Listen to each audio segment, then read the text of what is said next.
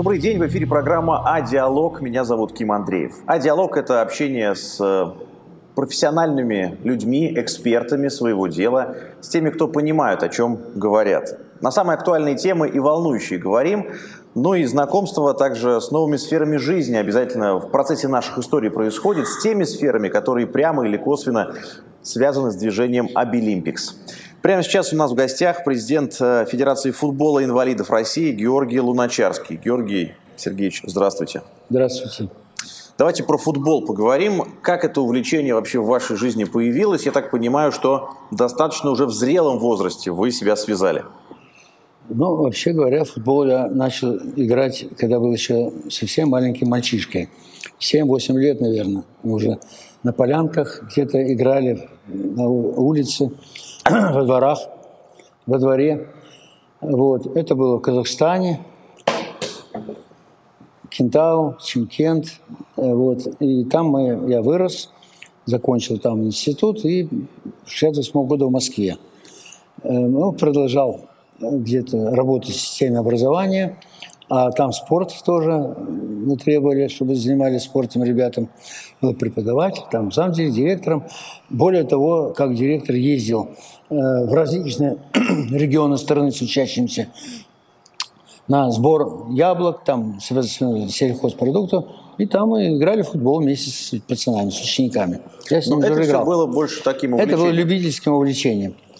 А потом, когда я был директором ПТУ среднего, то в качестве воспитательной работы мы проводили мероприятия с учащимися, приглашая на вечера известных э, мастеров, тренеров э, футбола, такие как Федор Черенков, как э, сказать, приглашали из «Локомотива», из, из «Динамо», из э, «Спартака». То есть реально Николай Петрович футбола, да. когда приходили в училище? Да, в училище приходили, на сцене сидели и, раз, и говорили с ребятами нашими. Это 80-е годы, когда у нас расцветал э, фанатский футбол, и были негативные... Э, не всегда хорошие, да? Да, не всегда. Но были частично негативные, разные люди были.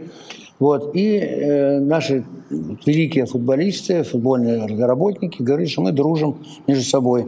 Мы только соперники на футбольном поле. А все остальное, это, говорит, самое хорошее отношение, дружба, это была наша воспитательная работа. И когда я уже через некоторое время ушел, да, то мне позвонил Николай Петрович Старостин и пригласил... Николай Петрович Старостин? Да, да, Николай Петрович Старостин. Легенда Спартака? Легенда, создатель Спартака.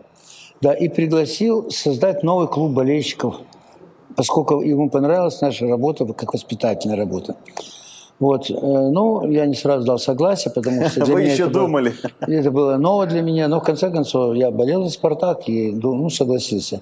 Естественно, и там он поставил передо мной вопрос старости. Да, вы должны возглавить клуб болельщиков «Спартака». Угу. Конечно, а в чем для... заключался функционал-то ваш? Фун... Э, вот, вот э, это как бы отдельная общественная организация, угу. независимо от «Спартака». Мы не были членами «Спартака». Но мы, но мы должны были создать там сообщество болельщиков, да, которое должно было быть помогать «Спартаку», а не, э, так сказать, приводить какие-то негативные мероприятия, которые были. Ну, знаете да, ну, какие-то фанатские, были. не самые лучшие. Более акции, того, да. более того, особенно было важно, была трагедия, когда с Харлемом играл «Спартак» в 1982 году, и погибли 66 человек. Это Лужники? В Лужниках. Угу. Значит, когда я уже стал возглавлять клубы, то э, по моей инициативе, это в Лужниках там написано, и я как архитектор по образованию, мы создали памятник болельщикам, погибшим в Спартаке, и поставили его.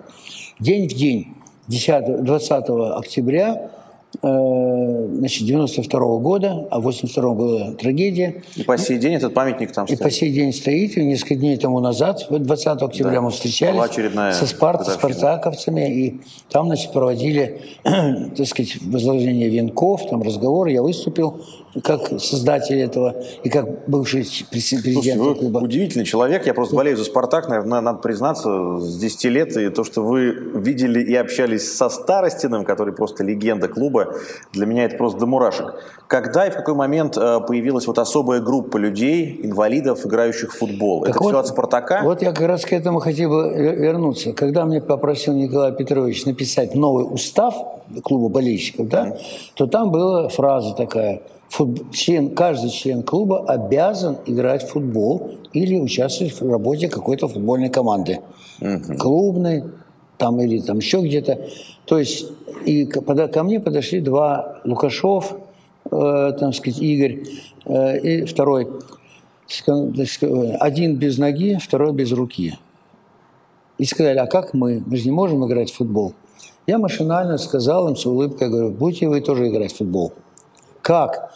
Я просто знал о том, что в Ташкенте к этому времени была футбольная команда «Матанат», мужество в переводе на русский язык, э, которая была образована э, в Ташкенте из, из ампутантов.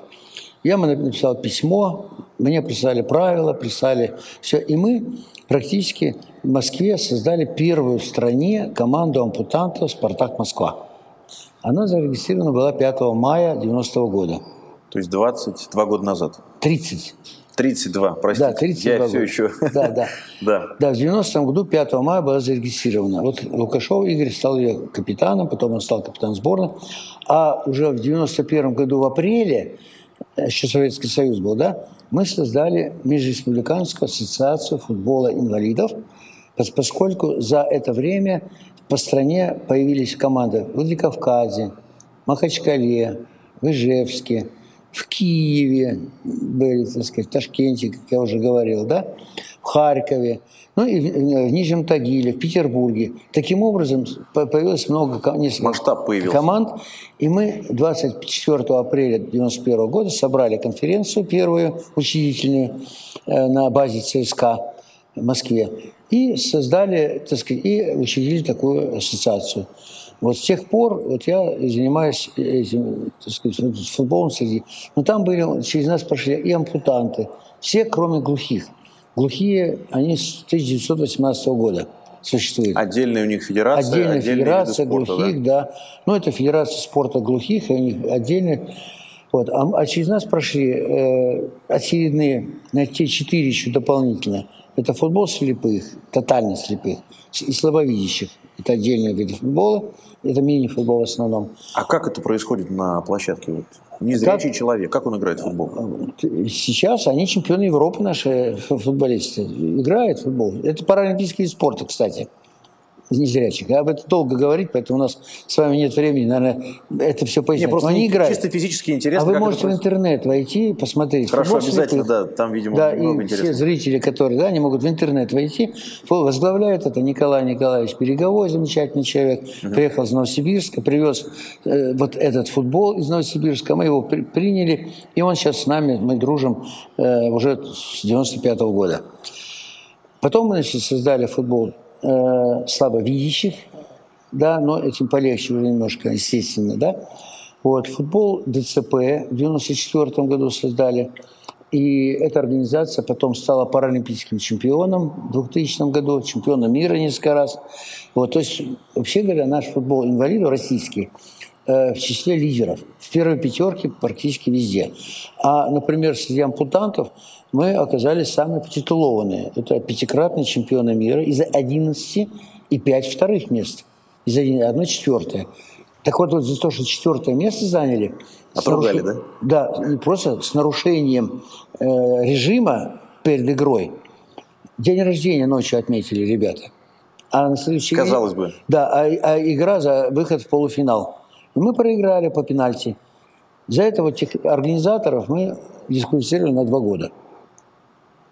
Строго, как вы. Да, потому что мы считаем, что футбол, вообще любой вид спорта, если идешь защищать честь страны, ты забывай себя, забывай все, все клади, на, так сказать, чтобы победить. Вот вы говорите про уровень сборных команд, правильно я понимаю? Да. Это мировые чемпионства. Да, это мировое чемпионство. А как у нас вообще с командами внутри страны? Какие регионы, вот, лидеры? Вот я вам назвал города. В каждом они городе команда. Они остались? Да, они сохранились, потом мы провели соревнования по 5, 7, 8 турниров в году. И этим самым мы нарабатывали. И от, на этих соревнованиях отбирали ребят в сборную команду. Я считаю, что, скажем, «Спартак» была очень сильная команда была в Владикавказе. На самом деле там у нас по два, по три человека было, которые ну, блистали, на самом деле. В Ижевске были хорошие ребята. Я могу назвать и фамилии. Там, Кузнецов, Ижевский. Володя Секой вообще был на нескольких чемпионатах лучший в мире футболист. Вот как, э, я даже не знаю, с кем сравнить из, из, из больших. Вот. Но сегодня, в настоящее время, самой сильной командой да, в стране уже 4 года подряд является команда «Ломонас» из Грозного. Да вы что? Да. Опекает эту команду сам э, Рамзан Кадыров. И эта команда, на самом деле, четырехкратный чемпион России, главный тренер оттуда, Руслан э, Герзишев. И там несколько человек, буквально 70% команды сборной из э, этой команды. Молодцы они просто на самом деле. Но в 2016 году была создана Федерация футбола, Ассоциация межрегионального футбола ампутантов. Отдельно? Они, отдельно. Ампутант. И они отошли в Федерацию ПОДа. Ну, мы говорили... Давайте поясним, что это... ПОДа – это Федерация по заболеванию опорно-двигательной системы, угу. в которых участвуют ампутанты, колясочники и ДЦП. Это вот эти, эти категории с нарушением опорно-двигательной системы. Да, и она э, финансируется государством как аккредитованная организация, а наша Федерация футбола инвалидов не может быть аккредитованной по той причине, что, футбол, э, что спорта, футбола, вообще инвалидов нет. Не существует такого понятия футбол инвалидов. Есть футбол слепых. То есть проблема в том, что у вас слишком широкий профиль. Да, да? у нас всеобъемлющий футбол – и поэтому государственная организация нас не может аккредитовать. Не входим мы в систему. Таким образом, мы за 32 года практически работали со спонсором. Была такая прекрасная организация «Маркон», в котором мы 90-е годы практически жили, жили с ее бюджета и проводили соревнования. Ну, потом находили, одна, вторая, там как э, различные, при, при, при, привлекаем различных спонсоров, которые нам помогают. Вообще говоря, э, почему так происходит? Мы говорили, а вы, говорит, назовите свою организацию Федерация ампутантов. Я говорю, тогда я не смогу с ДЦП работать. Тогда я не могу работать. И когда мы э, увидели, то мы увидели это раньше значительно, что у нас сегодня есть такая, такое понятие э, хронические инфекционные заболевания. Угу. Этих заболеваний полтора десятка. А всего четыре занимаются спортом. Остальные – сахарный диабет, онкология, урология, почки, печень. То есть они формально могут, но а нет они, условий? Они не имеют права играть. А, даже вот да, запретом? без участия врачей. Ага. Не имеют права играть. Потому что побежит немножко, кровь поднимется у да. кого-то, сахар у кого-то поднимется и так далее, кома там. И мы решили создать систему футбол, спорта ХНИС, начиная с футбола ХНИС. И для того, чтобы создать это новое совершенно, вот у нас мы как бы все разновидности создали, по всем разновидностям имеются свои федерации, здоровье пусть играет. Но мы все равно с ними участвуем, проводили в январе, скажем, э, среди слепых турнир свой, да, наш турнир. Э, в Махачкале мы сейчас провели турнир, значит, тоже и ампутантов, и их низ вместе. Э, весь 21 год провели уже по ХНИС несколько, три турнира. Что такое футбол ХНИС? Это когда то есть это с самого начала. Это создана система э, развития массового футбола на основе решений форума в России «Спортивная держава». Угу. Которая в наших, Знаем такой? Да, которая в наших городах да, проводится в течение последних 20 лет. Угу. Каждый год российский... Я на последних трех выступал. Я предлагал вот нашу новую систему эту, да? Но движение вы знаете, как это раскачивается? Ну, ну иногда нужно время или какой-то драйвер, время, чтобы... средства, ну, в первую очередь, время, средства и так далее. И понимание менее, для чего? Понимание Георгий для Сергеевич, чего? если позволите, хочется да. про идеологию вот у вас спросить. А, вот как вы привлекаете, может быть, в том числе и спонсоров, благотворителей, и с какими вот э, лозунгами, заголовками обычно проходят соревнования? То есть вот как привлечь ну, к этой деятельности неравнодушных? Ну, во-первых, у нас в первую очередь идет индивидуальная работа с людьми, которые заинтересованы этим заниматься. И наша идеология, значит, та уже кусочек этой идеологии я вам рассказал по Аргентине, да? Когда человек, если выступает за свой клуб, за свой регион, за свой двор, за свою команду, он должен, э, так сказать, быть, его жизнь должна быть этим посвящена хотя бы в тот момент, когда он этим занимается. Когда он не занимается, пусть он читает, пусть он пишет стихи, музыкой занимается, на гитаре играет, да, но когда он занимается футболом, вот конкретно, да, тренировками, соревнованиями, он должен, у него был должен один девиз – победить и быть порядочным, честным, справедливым. Вот эти вот три качества, которые должны быть неукоснительно у каждого футболиста. Вот это наша идеология. Да, и когда, и поэтому в наших соревнованиях ребята из спортивных команд, ну, они играют на себя, они так же, как говорили наши э, выдающиеся мастера, что на поле соперники, а в жизни друзья. Они друг к другу могут ездить, переписываться. Вы знаете, у нас есть пять человек наших, ребят, инвалидов, ампутантов, да, которые являются почетными гражданами своих городов. Тимур Алиев, пятикратный чемпион мира. Э, э, так сказать, э, этот самый Жилин, Барнаул, тот Махачкала, э, Кузнецов, э, Витя, э, Ижевск. Почетные граждане. А вот представьте себе, если бы не играли в футбол. Если бы они вот, ну, потеряли, ну, сидели дома, да, кто бы их кто знал. А так, мало того, что их знают, мало того, что они, так более, они заслуженные мастера спорта, они получают какие-то добавки, какие-то... И это, эта идеология, да, вот, чтобы они были такие светлые, чтобы они были хорошие, она распространяется на других, которые их видят и видят их пример. Ну, на окружение, и, на да, близких, на окружение, на да, тех, действует кто... на окружение. На да. тех, кто рядом. И Георгий да. Сергеевич, мне тут подсказывают, что вы автор новаторских программ некоторых соревновательных и даже особых каких-то тренировок. Об этом можете рассказать? Что это у вас такая за интересная программа? Вы знаете, э, вообще говоря, значит, с самого начала, когда мы начали заниматься ампутантами, практически э, правила для ампутантов разработали мы хотя они существовали, но они были несовершенны. Э, я как бывший футболист, в принципе, да, я все-таки э, знаю, что такое футбол, э, не понаслышке. Я увидел много всех вещей, которые мы их, эти правила совершенствовали, совершенствовали и их узаконили только в 1998 году на нашем первом конгрессе международной организации, которую мы же создали. Он был на территории России. Сегодня он на территории США. Вот, это, это федерация. Но правила, которые мы создали, да, они были узаконены и действуют до сих пор. Вот. Э, но тогда называлась Международная федерация футбола ампутантов, сегодня называется Всемирная лига ампутантов, так сказать, э, в общем, и находится в Штатах.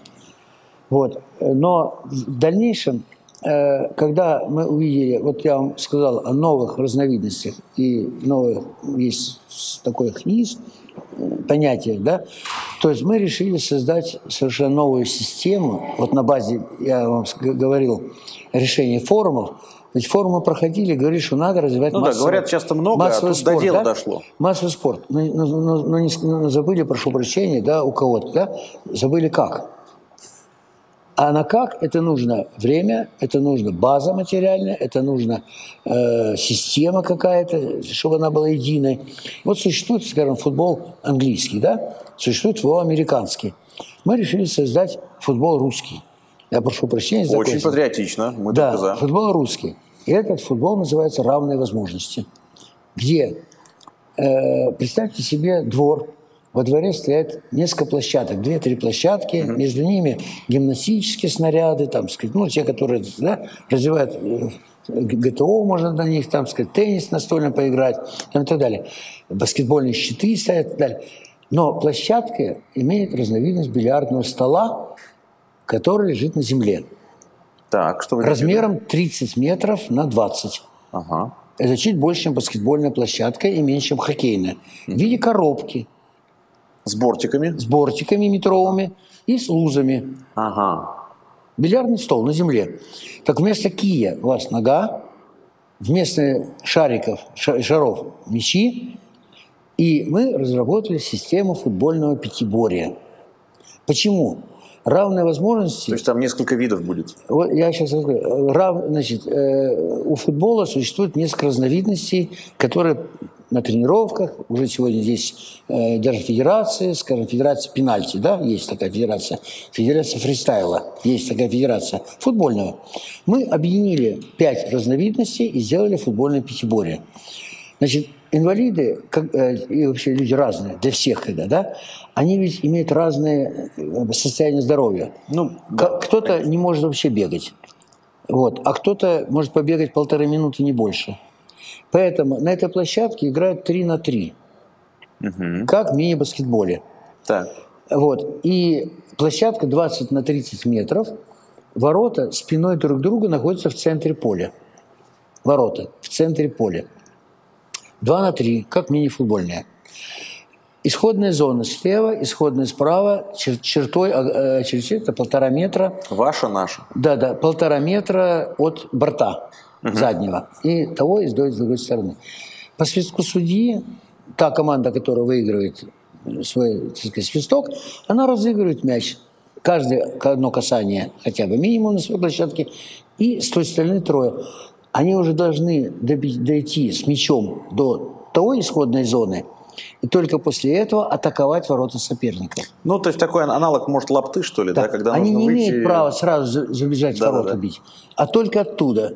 И тогда получается осмысленная игра, угу. щадящая режим беготни, ну, передвижений, а это значит для ребят, которые инвалиды, да, независимо, здоровый инвалид и так далее, у них э, развивается, особенно для детей, э, у э, которых очень сильно развивается возможность так сказать, мыслить, как играть в этот футбол. Георгий Сергеевич, к сожалению, время у нас сейчас, подходит Второй разновидность, я сейчас закончу. А, вы хотите да. все перечислить? Да, да. Вторая разновидность, пенальти. Угу.